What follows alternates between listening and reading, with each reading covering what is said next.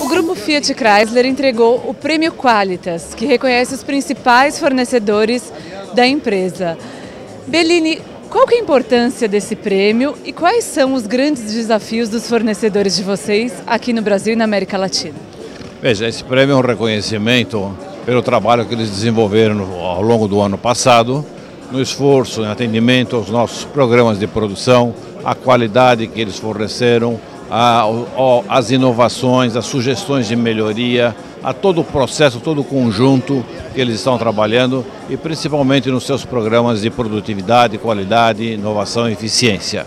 Agora, ainda mais com o Inovar Alto, vai ser muito mais necessário realmente nós aprofundarmos cada vez mais a eficiência energética, a inovação, a engenharia automotiva e a pesquisa e desenvolvimento.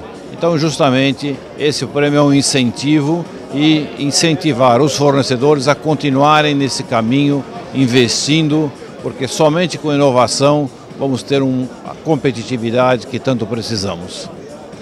E principalmente nessa, nessa contrapartida que o Inovar Alto exige da inovação, é, a Fiat pretende trabalhar muito com seus fornecedores para atender essas metas? Sem dúvida, estamos fazendo um trabalho muito integrado, estruturado, juntamente com fornecedores, centros de pesquisa e inovação e academias, grandes universidades, justamente para alavancar esse processo de inovação.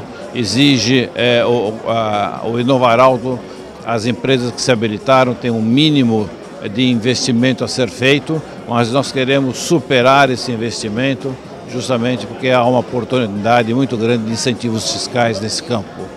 Muito obrigada.